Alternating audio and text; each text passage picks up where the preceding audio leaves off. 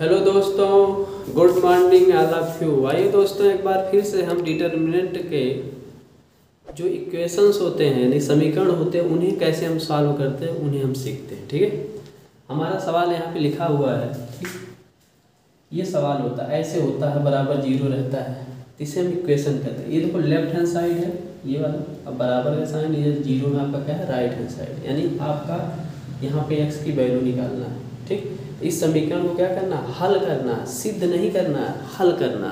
ठीक, सिद्ध करना होता तो उसकी वैल्यू निकाल के फिर उसमें रखा जाता।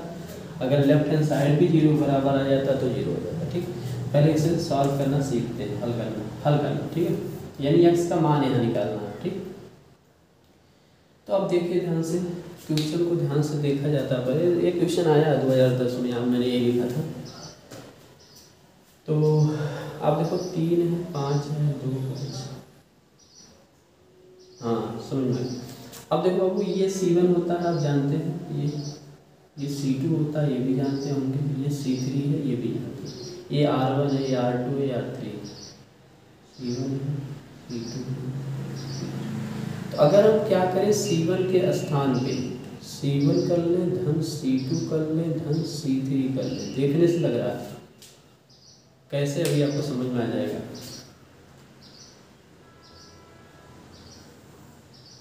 देखो, इस, यानी यक्स यानी करोगे अगर ऐसा करोगे तो क्या लिखोगे? यक्स प्लस वन और प्लस तीन प्लस फाइव क्या हो जाएगा? यक्स प्लस नाइन हो जाएगा।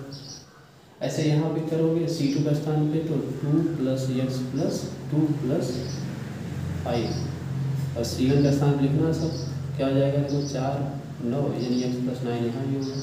ऐसे यहाँ पे दो धन, तीन धन एक्स प्लस फोर क्या हो जाएगा? तीन दो पाँच चार नौ, यानी एक्स प्लस नाइन हो जाएगा। देखो आपको यहाँ जगह याद है, इसीलिए मैंने सी वन पे किया ठीक है? बात समझ आ रही है यहाँ पे मैंने लिखा एक्स प्लस नाइन यहाँ पे भी एक्स प्लस नाइन यहाँ पे भी एक्स प्लस नाइन ठीक? सी टू का स्थान तो वैसे ही लिख देना थ्री एक्स प्लस टू और थ्री यहाँ पे क्या किया? फाइव लिख दिया और फाइव था एक्स प्लस फोर लिख दिया। ऐसे कर लिया, बराबर इसके क्या है? ज़ीरो ठीक। ये चीज़ें आपको समझ में आ गई होंगी। इस नोटेशन की बातें भी समझ में ठीक? हो गया अब देखिए ध्यान से।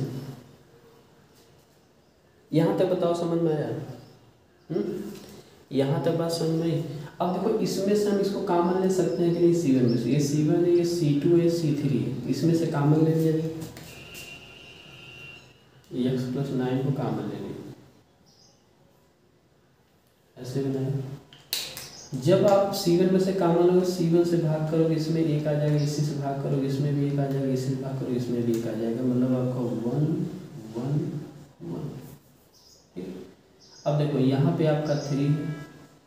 यहाँ पे आपका एक्स प्लस टू है, यहाँ पे आपका थ्री है, यहाँ पे आपका फाइव है, यहाँ पे आपका फाइव है, यहाँ पे आपका एक्स प्लस फोर बराबर क्या बाबू? ज़ीरो ठीक, ये समझ में आ रहा है? ये बात आपको समझ में आ रही होगी, बताइए। बात तो समझ में आ रही होगी ना? चलिए। अब थोड़ा सा एक चीज़ देखिए। अब थोड़ा सा एक चीज़ देखिए क्या करने वाला इधर लिखते हैं, ठीक इक्वेशन जब लिखा जाता है आर या लिख दिया था आर ठीक? अब देखो, यहाँ पर हम क्या करते हैं, पहले तो एक्स प्लस नाइन है ये आपका। ये हमने ऐसे बनाया। देखो। हम यहाँ पे, ये हमारा आर वन है, ये हमारा आर टू है, ये हमारा आर थ्री है ओके तो आर वन को ऐसे रखते हैं। वन था थ्री था फाइव था। ठीक? बराबर ज़ीरो था। लेकिन आर टू का स्थान क्या करते हैं? R two minus R three कर लेते हैं। आर टू का स्थान पे R two minus R three करते हैं तो इसमें से इसको घटे एक से एक घटेगा, देखो आपका ज़ीरो है इसमें से ये घटेगा तो यानी आपका x minus one x plus two है, देखो यक्स प्लस टू में से अगर, देखो ध्यान से, यक्स प्लस टू में से अगर तीन घटाओगे तो x minus one. X minus one आएगा फिर इसमें से इसको घटाओगे यानी five minus x plus four यानी फाइव माइनस एक्स और माइनस फोर यानी आ जाएगा एक माइनस एक्स बोलो आएगा यानी यहाँ पे आ जाएगा एक माइनस एक्स बात समझ में एक चीज़ और करना है यहाँ पे।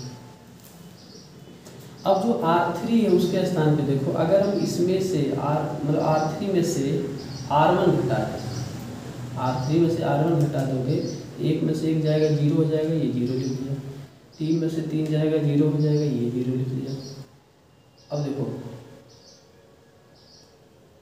आर थ्री में से घटा रहे हैं ना हाँ तो यक्स प्लस फोर में से हम पाँच घटा देते हैं। क्या हो जाएगा? यक्स माइनस वन आ जाएगा तो यहाँ पे हमारा यक्स माइनस जाएगा ठीक चलिए, समझ में आ ये कैसे आया? हम यहाँ ब्रैकेट में लिख भी लेंगे। हमने क्या किया बाबू? आर टू में से घटाया है। R two minus R three और आर टू का स्थान पे लिखा हमने क्या किया? आर थ्री में से घटाया है क्या? आर वन और लिखा है आर थ्री का स्थान। ठीक चलिए अब देखो यहाँ पे यक्स प्लस नाइन है, ठीक? अब देखो यहाँ पे यहाँ पे वन है। तो वन के one a a one one होता है पहला रो पहला कॉलम छोड़ दिया जाए तो एलिमेंट हमारा ये बचेंगे ये हमारा एलिमेंट बचेगा। एक्स माइनस एक। यहाँ पे हम लिख सकते हैं माइनस ब्रैकेट में एक्स माइनस एक।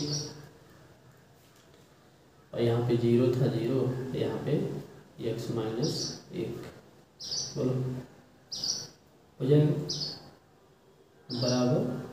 ज़ीरो आप अगर चाहो, आप अगर चाहो, आप चाहो कि आप चाहोगे यार यक्स प्लस नाइन हो जाएगा। इंटू विस्तार करोगे, यानी आपका मिलेगा एक्स माइनस वन समान दिख रहा है स्क्वायर कर लो। ये ज़ीरो हो जाएगा। माइनस ज़ीरो बराबर। ये समझ में आ तो इधर हम बिटाएँ, इसको इधर लिखें, क्योंकि अच्छा नहीं लगता है।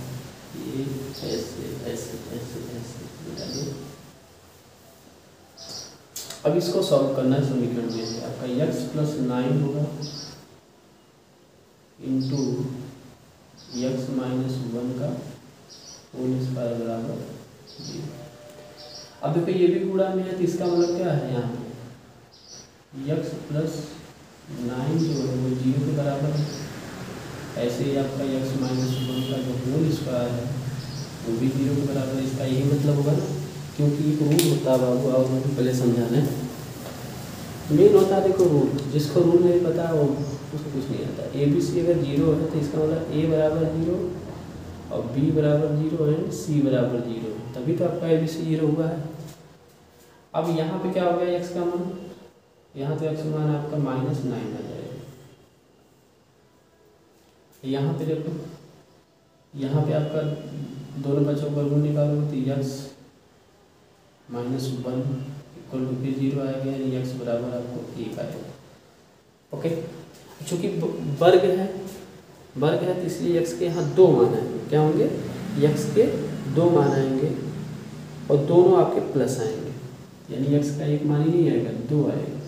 ये आपको प्लस बात समझ में तो यहाँ पे जो यक्स की वैल्यू आई है वो आएगा माइनस नाइन कामा एक और एक ये वैल्यू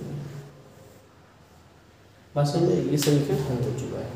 अब अगर इसी समीकरण में सिद्ध करना हो, इसी को मैं बता रहा हूँ, थोड़ा सा आगे एक स्टेप बढ़ के, सिद्ध करना हो, क्या है ज़ीरो के बराबर है, ऐसा होता, और एक्स की वैल्यू ये दी होती, यही तो था आपका। लेफ़्ट हैंड साइड ले लेते उसका। क्या था? पूरा लिख लेते हैं, तब बताते हैं। एक्स प्लस नाइन डेल्टा बराबर कर लेते हैं। तो ज़ीरो सिद्ध करना है, ठीक है? यहाँ पे थ्री है, यहाँ पे फाइव फिर यहाँ एक्स प्लस एक था ना यार। टू एक्स प्लस कितना है? टू और फिर फाइव फिर आपका टू था थ्री था एक्स प्लस फोर था ठीक इसको ज़ीरो बराबर सिद्ध करना है। अब देखो यहाँ पे अगर एक्स बराबर एक रखो एक्स इक्वल टू वन अगर आप चाहते हो क्या ये समीकरण हमने जो लगाया परीक्षा में, सही लगाया या गलत लगाया, इस चीज़ को जाँच करवा रहे हैं आपको ठीक है? अगर एक रखते हो, देखो क्या होता है आपका समीकरण ये ये डेल्टा का मान क्या आता है? क्या ज़ीरो आ जाता है? अगर ज़ीरो आ जाता है तो सही। यहाँ रखोगे तो एक एक, दो आ जाएगा, ये दो है ये दो है यहाँ पे क्या है तीन है। यहाँ पे कोई तीन आ जाएगा एक्स का मान निकले पे यहाँ भी तीन आ जाएगा, पाँच पाँच, आपको पाँच आ जाएगा। तो किसी भी सारणी के अगर दो रो या कालम क्या हो, समान हो तो उसका मान ज़ीरो होता है प्रॉपर्टी से ही सिद्ध हो गया। ये तो हमने एक्स बराबर एक रखा